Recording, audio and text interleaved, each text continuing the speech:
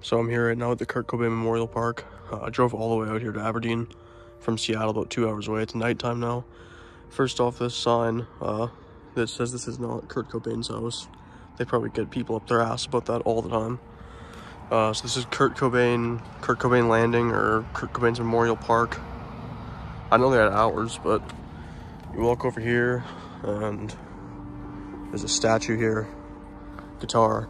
This is kind of the, there's two memorials for Kurt, one in Aberdeen, one at this house in Seattle. I've been to both today. I got the statue right here. And this is the Wishkah River. Please stay off the statue. I'm people try and climb this. Um, trash can. Is that a trash can? Yeah, they even made their own trash can design here at this park. Um, this is the Kurt's air guitar. And this is, I think this is the sign right here. It's a lot colder in Aberdeen than it is in Seattle, I will say that. June 24th, 2015.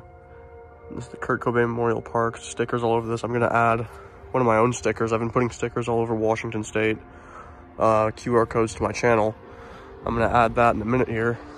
And then this is cool, I like this right here. So Kurt's body was cremated and his ashes, they actually have no idea where his ashes are today.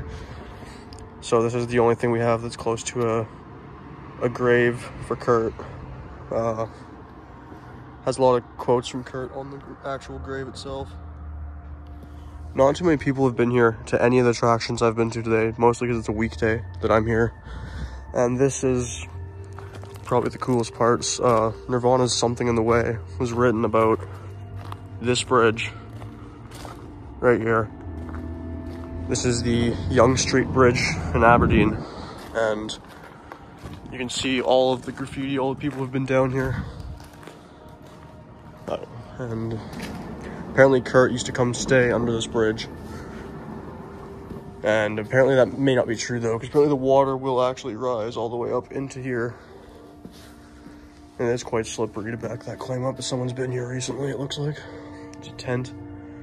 There's graffiti and all that everywhere. I have my light on, but it's not really doing a whole lot. Um, it's definitely really cool to be here. This is pretty much the last stop before I go back home. But all of this writing for just years and years. And since, yeah, someone has been here semi-recently, it looks like, camped under this bridge. Oh. Trying to see what's kind of under the bridge here. It doesn't look there's much under the bridge. There's clutter and garbage and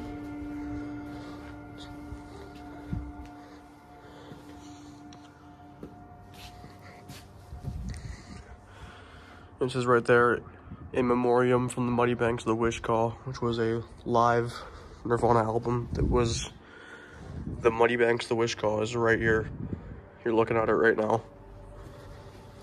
It's just cool as a lifelong Nirvana fan.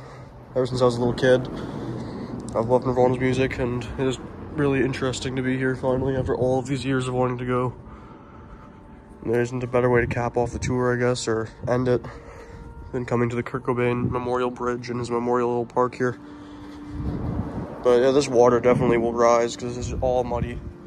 And that water will definitely rise probably through the year.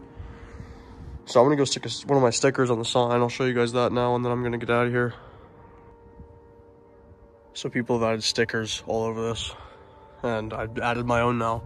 So if you guys do come to Kurt Cobain's Memorial uh, in Aberdeen, there you go right there. That is one of my stickers. So please let me know. Uh, contact me on Instagram uh, if you actually do come here and see my sticker. I'd love to see it if it's still held up and actually stayed on here. But I'm gonna go back now, guys. I'm actually gonna go to Kurt's house now, his Aberdeen home where he grew up.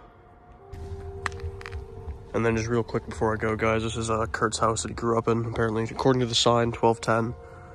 Here we are, 1210. So not much to see. This someone doing yard work right there. But this is Kurt's house. There's really not much to see. They put a new fence up, I see, just to kind of keep people out. I'm assuming it's his private property. They don't want to be bothered here, and I don't blame them. But, yeah, that's Kurt Cobain's house.